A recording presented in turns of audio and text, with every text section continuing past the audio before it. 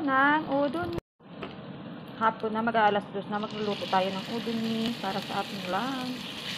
So, magigisa lang tayo ng pork.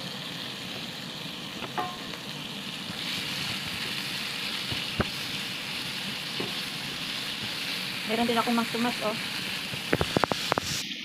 Then, lagyan natin siya ng kaunting bagoong. Yan. Kunti lang. Lagyan natin ng maigi.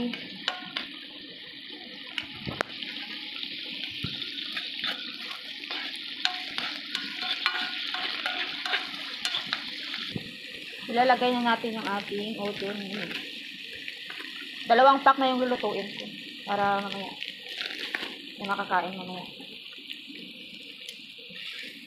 So, ihalo lang natin ng maigi. Medyo ano to? Hindi natin maintindihan kung ano luto. Basta may pork bagoong. Huwag na kayong magreklamo. Ako naman yung kakain. Charot. Try ko lang din. Kasi wala akong ma, na gawin sauce nito. So, antay lang natin siyang mahalo ng maigi at saka maluto yung noodles. So, okay na siya. Nilagyan ko lang siya ng konting magic para may lasa.